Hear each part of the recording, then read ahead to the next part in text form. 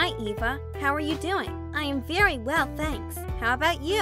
I'm fine too, but I'm a little tired. Why? I'm coming home from shopping. I do not believe. I wish you would call me. Eva, it is impossible to take you out of the store once you get in. You're right, Barbie, because I feel like I need to buy the entire store.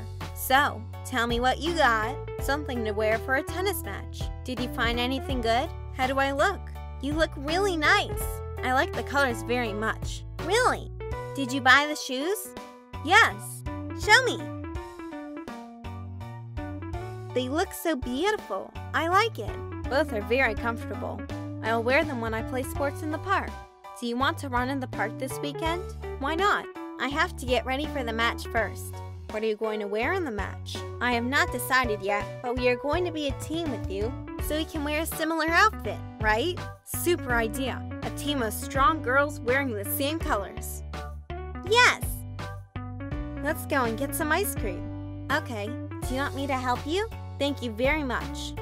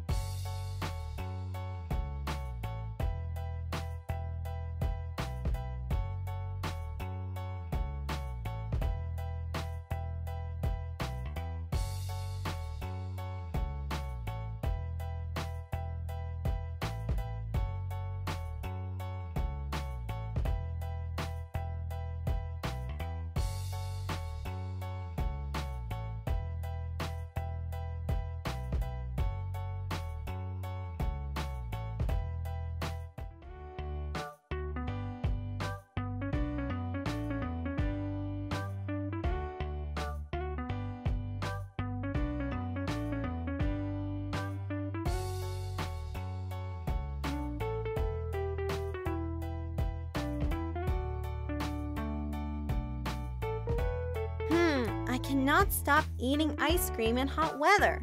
Me too. Should we get something for me as well while we are out? I'm not sure if I want to go to a store with you. Come on, I promise, Barbie. I will only stay 15 minutes. Do you promise, Eva? Promise, promise.